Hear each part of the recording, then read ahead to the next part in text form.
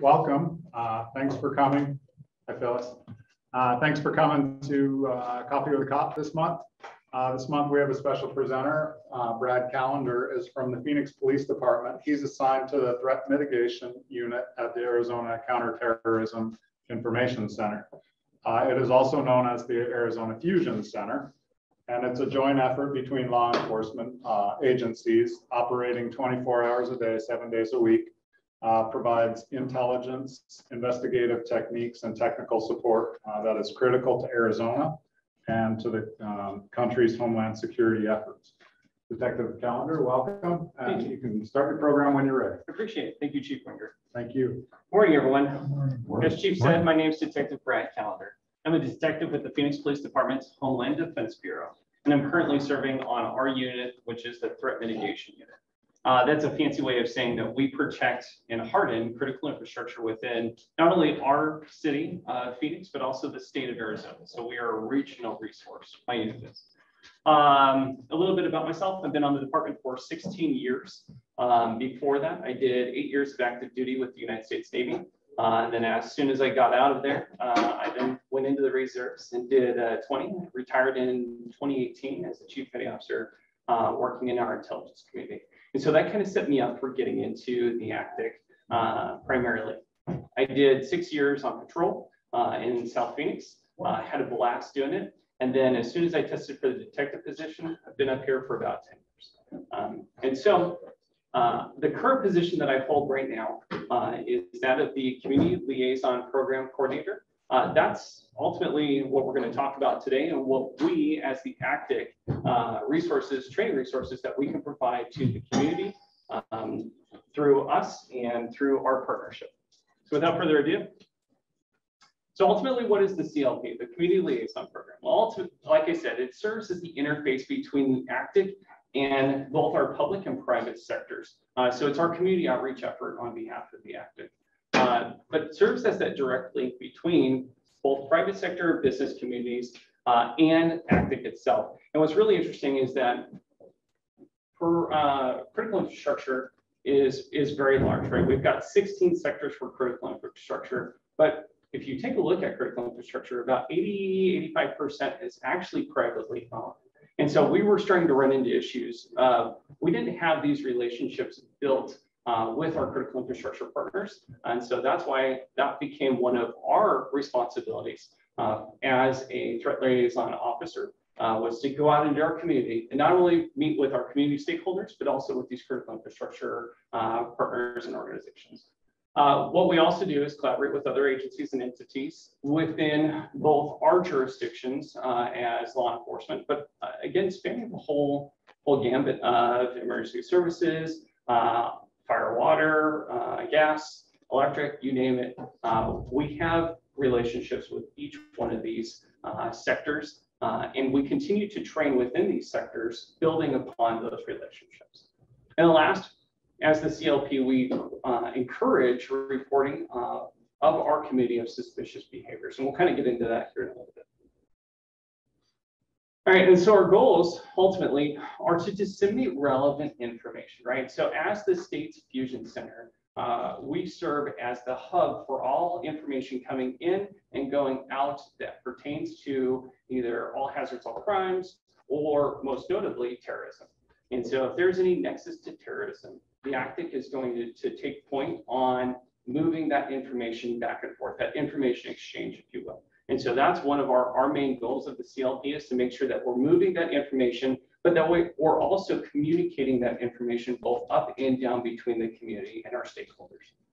Uh, we also uh, attempt to increase the visibility of ACTIC, so that's why I'm here today, uh, as well as identifying local companies or entities which have an actual stake within our critical infrastructure uh, or that are key leaders within the community. From that, we're able to, again, create relationships and build upon those relationships. And then this is very similar to FBI's InfraGard. I don't know if any of you know InfraGard or are members of it. So the FBI has a very similar, more business-oriented and minded uh, efforts on their behalf. Uh, we actually have a pretty strong InfraGard group here in Arizona. Um, and so if you're interested, that's also something that we can take a look at getting you guys involved with. Information sharing. Again, we continue to go back to the ACTIC is the hub of all information moving in and out. And so what we will take in are any suspicious reporting of activity, suspicious activity. Uh, and so like these can take, uh, you know, any kind of form. It could be someone taking pictures of critical infrastructure. It could be uh, someone who is um, you know, trying to elicit information uh, from locations that they're not supposed to be in. Uh, a good example is going up to a security guard at, at uh, Chase Field, right?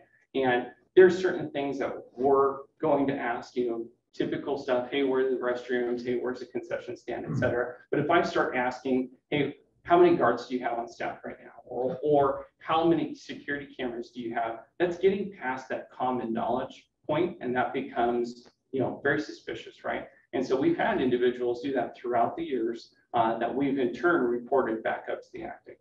Uh, and then uh, cyber-related activities. So anytime, and this is different, right? So this is different from us, uh, you know, John Q. Uh, citizen who's at home and it's a, oh, I've got a virus or, or something on my computer that I can clean up myself. This is a directed attack at either um, a group, an institution, or even if it's harassment through, you know, for, for an individual. Those are things that we would like to be reported uh, to about, so that way we can also collaborate with our other jurisdictions to make sure that everyone is safe in our cyber realm. Uh, I personally am part of our cyber crimes task force for the FBI. I've been on it for almost 10 years.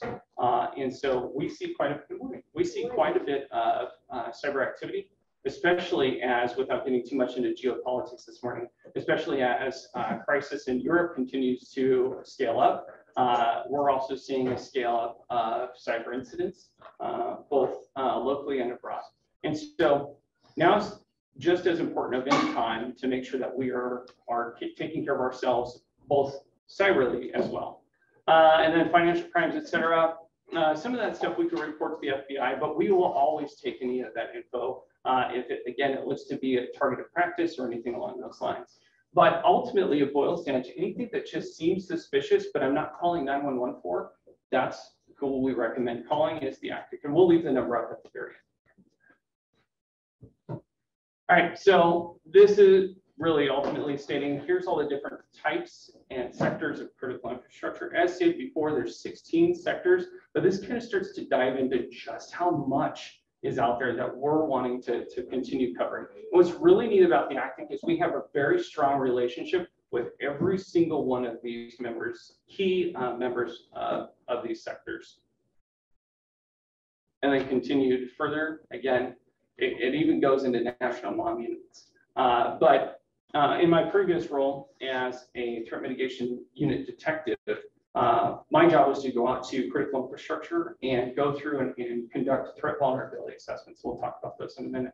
Um, but we would partner regularly with DHS, our counterpart, which is the, the um, I'm sorry, the PSAs uh, that are DHS's uh, basically liaisons for the state that do the same thing we're doing, but at the federal level. And so we partner with them regularly, uh, and then uh, we would do TVAs ourselves. So we'll kind of get into that in a minute. All right, so this is where we, we ultimately share all of our information. Uh, before was through email or mass emails, et cetera, but really in order to protect both us and the public, uh, we wanted to have a very secure uh, means of communication. And using HSIN, the Homeland Security Information Network, is a really good way for doing that, right? And so ultimately, to get into HSIN, to become a member of uh, HSIN's platform, you go through a uh, PCII course, uh, that's Protected Critical Infrastructure Information uh, course. Uh, so that way you understand what information should be put into and what shouldn't be. But as a member, then you're able to have information disseminated to you on a regular basis. And typically what we do is we, we try and coordinate that by sector. And so if someone belongs to a business sector, right, a tech uh, sector, uh, anything that comes into us from either the national level or the state level, and we're able to share it, we'll then turn around through HSIN and we'll be able to disseminate that information to the same sector partners so that way they're also aware of any threats that may be coming towards their sector. But HSIN ultimately, right there, uh, the FBI will vet uh, who's uh, wanting to become a member uh, for HSIN. Uh, we have that partnership. And again, that also gets you into InfraGard, as we spoke about before. And then from there, uh, we then enter uh, you as, as a, a uh, member, and then you're able to get the information as it comes to you. This is what it looks like, uh, secured login, has all the uh, typical DHS credentials for it. Uh, but again, it's our safe way to be able to disseminate information to and from. And what's really interesting, there's a ton of different ways to use HSIN, uh, not only through for information sharing, but also this dials directly back into DHS at the federal level. And so um, just last night, we have protests uh, for Roe v. Wade uh, and what's going on down at the state capitol. And I got the message on my phone from HSIN, yep, hey, DPS is monitoring it, here's what's going on. Okay, now DPS is doing X, Y, and Z. And so I'm getting that information. Uh, the general public might not, but if anything did come up that was either for an area that, that you yourself were in as a member of HSIN or that a business or a sector that you're in uh, was uh, had had a, a, need to know that information, we'd be able to disseminate out, uh, just giving you guys the heads up. Hey, look, be careful, shutter windows, doors, etc. Uh, make sure your office reads that kind of thing. And so ultimately, we feel that, that the CLP is a very necessary part of ACTIC, which is why when you go to the ACTIC's website, it's one of the key points to it. Uh, our outreach is everything, right? And so without us, uh, our outreach, and without the community knowing what ACTIC is doing, unfortunately, we're just a secret group that's, you know, dwindling away. Uh, and so again, it takes these outreach uh, efforts on our part to make sure that the entire public is aware and utilizing the ACTIC as best they can. Uh, so that keeps lines of communication open, not only for our federal, state, uh, local, tribal, et cetera, uh, but also our community. And then again, networking with our public and private sector stakeholders. Uh, and then as we are able to do that, we're creating and building upon our relationships. And so that's key for us, right? Uh, and that's the real reason that uh, for a lot of things, but for, for instance, the FBI Cyber Task Force. Um, I don't know anything about, I didn't know anything about cyber when I first came on. Like it was just, I know a computer, I know how to turn it on, I know how to get to the web. That's about as cyber as I got, right? But because we had these relationships, these established relationships throughout the entire critical infrastructure network, uh, FBI said, look, every time we go to, to one of these critical infrastructure sites, which again, 80 plus percent is, is uh, privately owned, right? Every time we go, we knock on the door and say, hey, we're here with the feds, we're here to help. And they go, yeah, no thanks. But you have those relationships. And so we would love to be able to partner with you, teach you enough to be dangerous for you to be able to go with us into these situations. And it's been a really good uh, partnership between us and the FBI because of that. And so again, working together to leverage those relationships is what's key for ACTIC. Uh, and then last, uh, liaison, we can provide to the community liaison between uh, anyone within the community and the ACTIC. Uh, and then we also provide training, we'll get to that in a minute, uh, connect you with other agencies, including federal agencies. So sometimes it's one thing to pick up the phone and call the FBI and maybe you get someone, maybe you don't get someone, but you know, you have to sit and wait for a hotline, et cetera. And it's kind of a pain, right? And then they have to sift through all those, those individuals that have called because they have a lot of people that call, a lot of people that like to, to talk uh, and, and, uh, and continue to talk.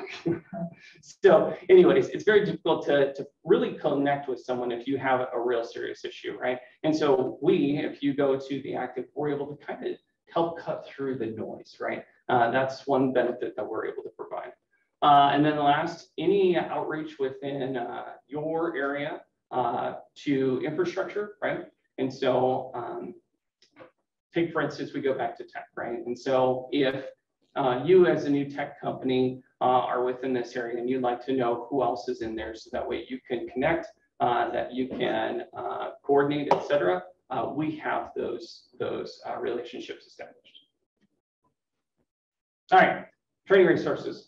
So ultimately, this is the big thing that we can offer to the community, right? So my training resources that I provide specifically, and uh, not to get too too wild about it, but in, in the military, we call this left of boom, right of boom, right? So ultimately, we're trying to get in front of the bad day uh, by providing training that is meant to mitigate uh, any of those risks or threats uh, of that bad day happening, right? And so our very first and foremost, and it's all organic, right? It's, it, it all kind of plays together. And so our first training that we provide uh, is threat, uh, threat vulnerability assessments. And this isn't quite training, it's more so us coming through and helping to do an assessment of your organization or your facility. Uh, and in doing so, we're able to identify risks that there may be. And they might be small things, right? Uh, uh doors that are propped open or, um, you know, firewalls that aren't, uh, you know, installed, et cetera, working properly. Or heck, you know, it's awesome. Everyone comes in and goes, I have the best cybersecurity program there is. Well, but the closet door to your servers isn't working correctly. And so like, how, how safe is it really? Uh, and so we take both physical and cyber when we look at it. And in doing so, it helps us to understand what our vulnerabilities are as an organization or uh, a small entity, right? And so from that, becoming more aware about ourselves, then we start getting into preparation for the bad day happening, right? And so we also uh, provide a DHS training, which is called bomb making awareness and preparedness training. Uh, BMAP ultimately uh, is a way for the community to understand what, what really constitutes a bomb uh, or an explosive device, right? And what are some of the chemical precursors, et cetera. So if you were to walk into, and again, as a community member, you might not, but uh, if you see a neighbor that's starting to, to hoard quite a bit of, you know, hydrogen peroxide or things like that, that's suspicious, right? Uh, because some of these chemical precursors in enough uh, of a quantity can be dangerous, right? And so that's kind of one of the things that we uh, also train through DHS. Uh, it's a DHS training. Uh, but again, it's an awareness for our community members to identify, oh, hey, that actually might be bad. Uh, and at the end of it, it's actually pretty cool. Uh, you actually see, uh, um, you know, makeup images of or actual devices, et cetera, and how they do it. Uh, and then moving forward, active shooter preparedness training. This is kind of one of the big uh, trainings that is asked for quite a bit of the ACTIC. Uh, but we all ultimately always tie it back to, you know, if we're going to do active shooter training, we definitely want to get uh, a TVA done beforehand, right? Um, and so active shooter preparedness training can range the gambit between as simple as an online training that we provide through DHS uh, or a PowerPoint that we can provide uh, all the way up to actual live actor training to where we've got, uh, you know, it's not sim rounds, but they're like little Nerf gun kind of things, right? But it's at your organization's facility after we've already gone through and identified what the risks and, and ways to mitigate those are, gone and, and trained, and then at the very end, you, it's a culmination, you put it all together and you're running around uh, with, with an actual live training. And it's really great. If anyone's been through it, it's actually really really good training. And then last, we also, uh, through our Phoenix Fire Department, we put on Stop the Bleed. And so that's kind of a trauma mitigation, uh, how to deal with gunshot wounds, uh, and um, it goes well beyond CPR. And at the end of the class, uh, you get a tourniquet for it too. So these are all things that we, the CLP, offer through ACTIC. And ACTIC offers uh, several other things too. Um, you know, if someone is experiencing threats to a specific individual, we have the STAMP program. And STAMP program is very similar to us doing a TVA, but it's meant for individuals specifically, uh, and to where there's a scoring involved and everything else. But that's another resource that, that the ACTIC can provide. Uh, but these are all our community resources that we provide and these uh, primarily are at no cost. Now, some of the live action stuff we can do ourselves, but if you're looking for higher up then we can start discussing private companies, et cetera. That's nothing that we endorse specifically, uh, but some companies that we've seen that work really well. And then as we continue to build upon our relationship, again, we have things such as this, speaking opportunities. I've spoke well, numerous times at uh, Southwest Gas, Kinder Morgan, uh, APS, SRP, you name it, right? Um, and so that's something else that we provide as the CLP is any opportunity to come out to engage with the community or with an organization. Uh, informational webinars or stakeholder calls. Uh, this was real big, especially when we were having a lot of cyber stuff going on, Log4j. I don't know if any of you are aware of it. Uh, it was several months ago, but that was a huge crisis for cyber. Uh, and from that, we had several stakeholder calls that were involved with cyber security, uh, threat mitigation. Uh, and that was something that we offered to all of our partners was being able to get onto those stakeholder calls. And some of those were DHS led at a national level too. And that was actually really, really neat to see. Uh, connecting with different organizations that work at ACTIC, as mentioned before, uh, we're not the only ones there. There's several other that work up at ACTIC and several jurisdictions that work up at ACTIC. And it's really interesting. So we've got, you know, the feds are up there. Uh, we've got DHS, TSA, et cetera. Uh, then we've got all the locals, uh, agencies that are up there. And if they're not sitting there in a desk, they, they have presence up there every now and then. And we have a huge network. We have 2,000 plus TLOs, threat liaison officers, uh, that are throughout the entire state that basically are um, plugged directly into the ACTIC. And so if anything does happen out, out in their jurisdiction or even dialing right into their community, they're able to start working that network immediately. And its, uh, its reach back is incredible. And so not only does it reach back to ACTIC and, and have state resources, but it also reaches back to the feds.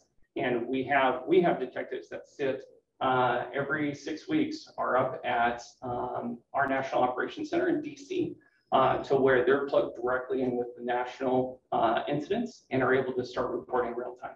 And it's actually really cool. Uh, some of the reports that we've had have actually ended up on POTUS's desk. Yes, sir. Just a quick question. Please. Who is your boss? Who do you guys report up to? The state? Yeah, so so it's really oddball, right? Like so for me being a Phoenix police detective, I have a sergeant that I report to, and so my chain of command is still Phoenix PD. But because we have a partnership in ACTIC and we reside at ACTIC, uh, I I personally for this program report to our director, and so we have a director at the ACTIC uh, who is our primary stakeholder for the entire intelligence community for here for the state, right? Um, and she has her directorship. Um, underneath her. She's got an assistant director and a few other assistant directors, one of intelligence, et And cetera. She reports up. Exactly. And so, and, and that's a great question. Let me take a second to kind of explain it. So back in 2004, right, uh, nationally, laws were passed at the federal level that said every state will enact a fusion center and a TLO program, basically, right? And so from that, we stood up the ACTIC, the Arizona Counterterrorism Information Center. And it was it was wild back then, right? The wild, wild west. And so we were grabbing everyone we could that had some sort of connection to anti-terrorism, counterterrorism, et cetera, and brought them all in and kind of you know put this together. Since then, uh, we've gone back to New York. We've gone back to some other you know key uh, fusion centers and have adopted a lot of their techniques to where we have now become one of the the um, you know uh, what's the word I'm looking for uh, the focal points uh, for the entire west, southwest uh, for fusion centers. Uh, people are now coming to tour our facility because we've done so well at being able to, to stand this program up over the course of the past almost 10 years, uh, 20 years. So from that, to answer your question, law is enacted, state law is enacted that says you shall have a fusion center, you shall have a critical infrastructure program, you shall have an intelligence program that disseminates information, right? Because we don't ever want to have that, that happen again, 9-11 happen again. And so from that, uh, is ran at the state by the state. Uh, so DPS is the primary agency over it. And so my director of ACTIC, she reports directly to uh, the director of DPS. So, and that's a great question. Thank you. Mhm. And then uh, meetings with other agencies, jurisdictions, that's where we left off. So again, if you're looking to meet with a community action officer or uh, your neighborhood precinct lieutenant or something along those lines, uh, and have been having a hard time trying to get a hold of them because again, we know everyone's really busy, right, and, and short staff. Uh, we have the ability to kind of cut through that noise again and, and directly contact it and get to some of the, the key players that we need to. Uh, sharing contacts and updates. Again, everything is kept close to us because uh, oftentimes it's it's related to critical infrastructure. And so without permission from the, the other side, uh, we can't just give contact information out. But if you're looking for uh, specific organizations, et cetera, we have all those relationships built. And if you're trying to find someone, we can typically find someone to help connect you. And then advocating within your own organization is the way that we're going to continue to build upon our, our, our, our, uh, you know, ACTIC uh, efforts. As stated before, again, we're just a tiny little spot tucked away in North Phoenix, you know, a secret spot that's listed in the white pages. Uh, But uh, again, without the community's awareness and without the community's help at continuing to utilize ACTIC and their resources, we're just going to be the tucked away spot. So, um, let's see. All right, and then uh, here's some other stuff that we do. Putting together bulletins for uh, information dissemination. Uh, again, this kind of goes towards our sectors. Uh, you know, uh, hospitality is a a good one, right? Hospitality, as we get closer to large events, see an uptick in uh, thefts and in human trafficking, more more related to sex trafficking, right? And so when those events start coming up, um, they have a really good network of hotels, et cetera. Um, however, they don't reach everyone. And so that's another way for us. We have a lot of those uh, established relationships with some of the smaller uh, entities that might not be within their bigger uh, organization uh, that we can disseminate out to everyone within that sector. Hey, look, here's something to look for. We've got, you know, this event coming in. Make sure that you're keeping an eye out for this, for that, et cetera. Uh, and then inviting other pertinent public and private sector personnel to become part of. Right? So again, going out and telling your friends is what this is, right? Uh, is a really good uh, organization, but it's it's business based. And then HSIN, again, is just another way for us to be able to disseminate information securely to uh, the, the, the public and the community. All right, last, uh, in closing, 911 if it's an emergency, right? And so uh, we encourage everyone, if you run into any suspicious activity, but it is volatile or is an emergency, please call 911. Uh, that's first and foremost. Your safety is first and foremost. Be a good witness, uh, not not a hero, right? Um, and so again, I can't stress enough. If you see an emergency, call 911. However, the other phone number that's for ACTIC, right? Suspi- suspicious activity. Uh, let me give a couple of examples, right? I was, uh, we, they were just opening the right light rail over um, uh, the airport down at Sky Harbor, right? They were doing a new section and uh, the tram was going, et cetera. And when I was driving through the airport one day, I see a vehicle pulled off to the side underneath one of the, the tram rails. And there's a person outside taking a photograph of, of the tram itself and the, the, the surroundings about it, uh, ultimately kind of diving into what the tram is doing, right? Um, and again, it wasn't a, uh, an Instagram worthy photo that they were taking. This was actually a, a serious photo that they were trying to take of it. Uh, and at that point, it was a, no, that's something that's suspicious. Let me call ACTIC. And so then our airport has TLOs that are assigned to the airport and a TLO from the airport stood up, came out, and then started going through video footage, et cetera, to try and nail down who that individual was. Uh, so that's that's the kind of stuff that we're encouraging. Hey, look, if it just doesn't feel right, it's kind of out of place. Give us a call. We'll always take a look at it. Uh, and then that's it. Here's my contact info. Now, please take it down. Uh, again, I'm free at any time. Uh, I've got my ringer on all the time. That's my cell. Uh, and so if you have any further questions uh, that you want to talk about offline, feel free to give me a call, or drop me an email. Uh, that's me. So I, we're opening up the floor for questions. If anyone has any questions about the program or about the ACTIC or anything else, please feel free. you Have any success stories or things that you've been able to mitigate before it happened or things that, In, in, in the intelligence community, right? Uh, our failures are known and our, our wins are, are secret, right? Uh, but to, to give you some, um, we've stopped several things, right? Um, we also partner with the, the Joint Terrorism Task Force. Um, and so that's, that's another thing that was stood up in 2004 with those mandates was being able to mitigate some of these threats uh, at a national level, uh, dialing it through the states. And so our JTTF is plugged directly in with what we're doing.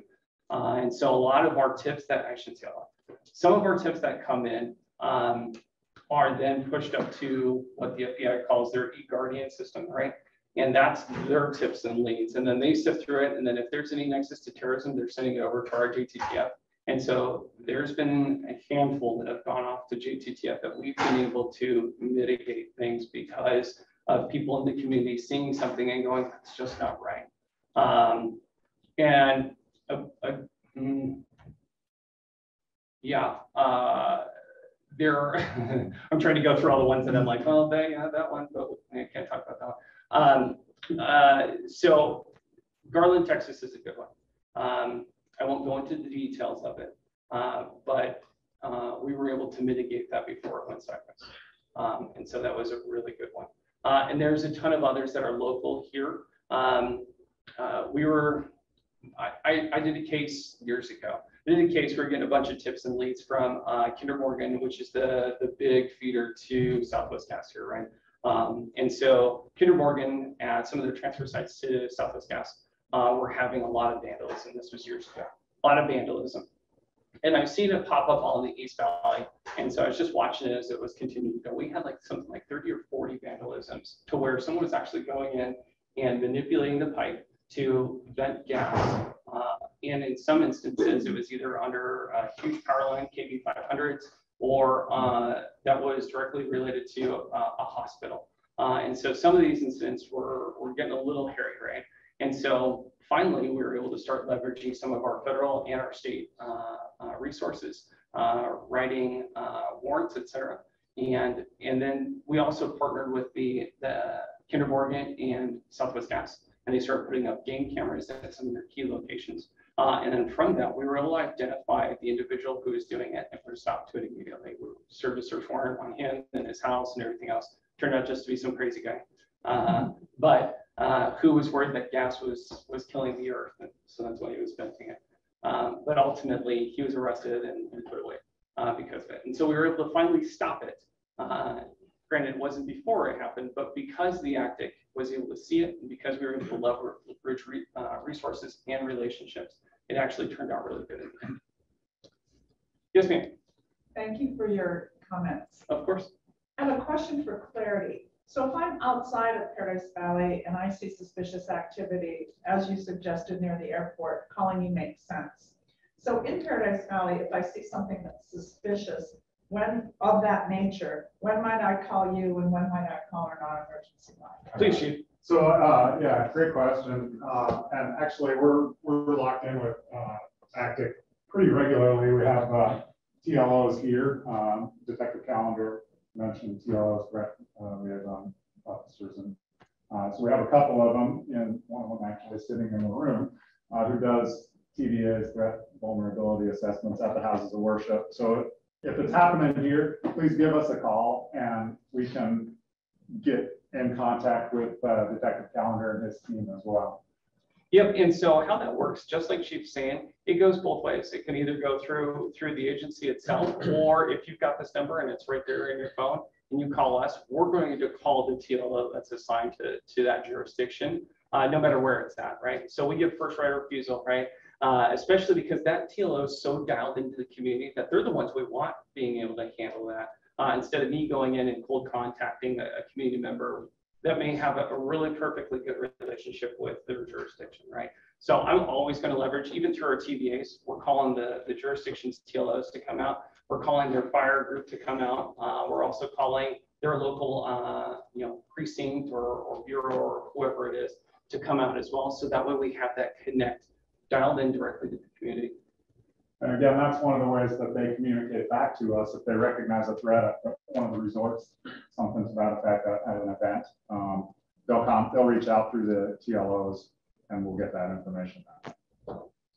Yes, sir. Looking at the magnitude of your responsibilities um, and all of the entities, both public and private, Mhm. you provide your services to, what's your organization look like in terms of manpower? So at the ACTIC, uh, we have 30 some odd personnel without getting too much into it. Uh, so we're a very small entity. Um, but our reach back is incredible. As I mentioned before, while I may have, I think it's something like 30 active TLOs, I have 2,000 that I can turn to instantly, right? And then from that, we have just Phoenix alone. Uh, I helped stand up an intelligence officer program several years ago. And from that, I've got 250 other officers that I can leverage to start working intel at the drop of a hat. So like, there's a lot of really good resources. And it's, again, it's all relationship building, right? And, and I tell my young officers, I can't go out and, and stop everything within the 500 square mile, 1.6 million people me trying to do this job, as you pointed out, can't do it, right? And so that's why I leverage both my officers, uh, fire department and my community to become those uh, sources of information that they're able to go, hey, mm, something's wrong. And s- instead of me trying to find it, now I have several others that are out there looking for it too. So the thirty something that you referenced, are they all sworn police officers? So what's really interesting about our TLO program, it's, it's very different from back east. Back east, it's, you know, PD's got theirs, fire's got theirs, no one really, you know, uh, works too well together.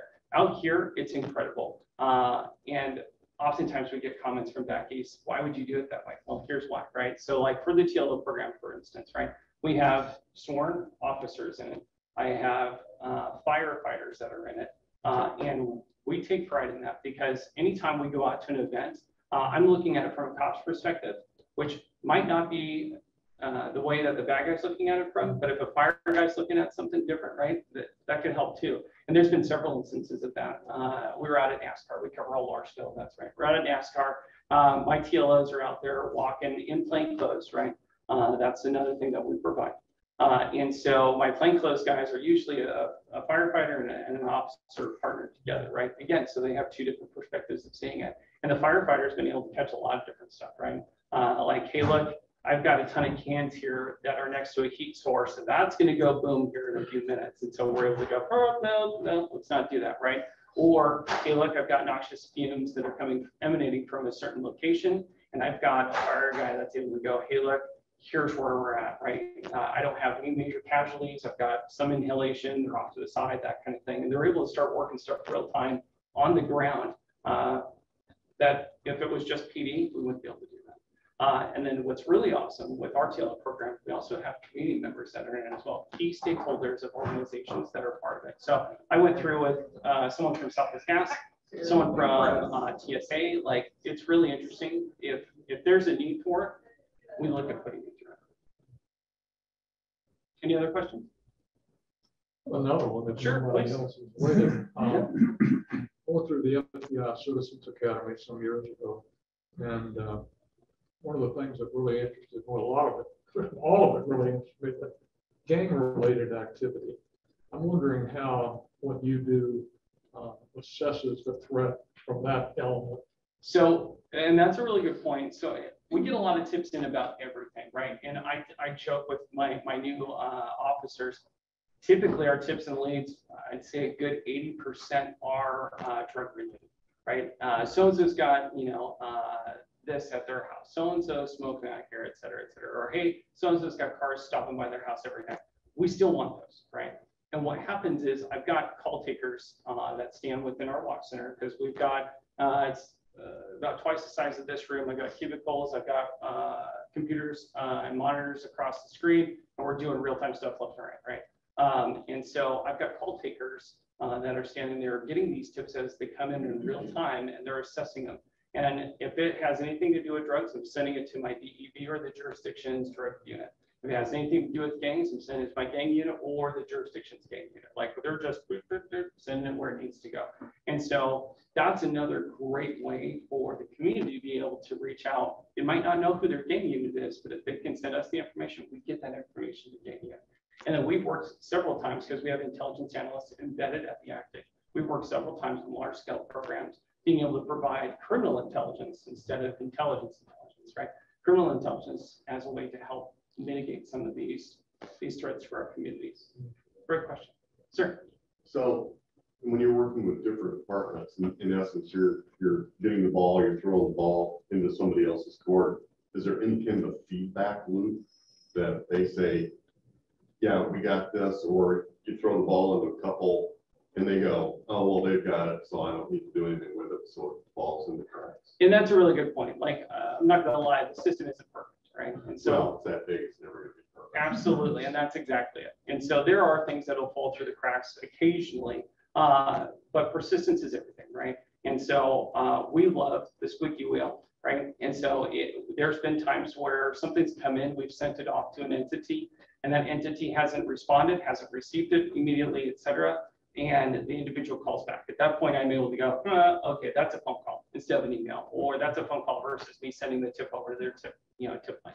Uh, And that's, that's the best part about our information hub at ACTIC is that we're persistent. And that if we don't see that feedback loop, that we're, we're in, in, uh, initiating that feedback loop to make sure that, that we're getting our people taken care of.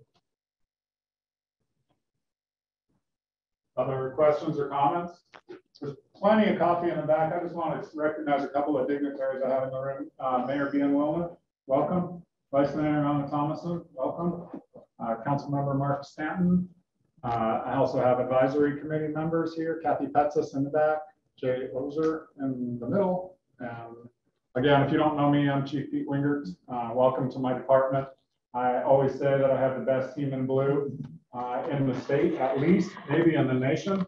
Uh, and there's a couple of them sitting in the back. Please, while you're here, uh, get the, take the time to get to know somebody here, have a cup of coffee so that you know us as Chief Pete versus the cops. Thank, thank you so much. Any questions for me uh, today about anything other than the program? I'm appreciative of you guys coming today. Thank you. Thanks, Detective Callen.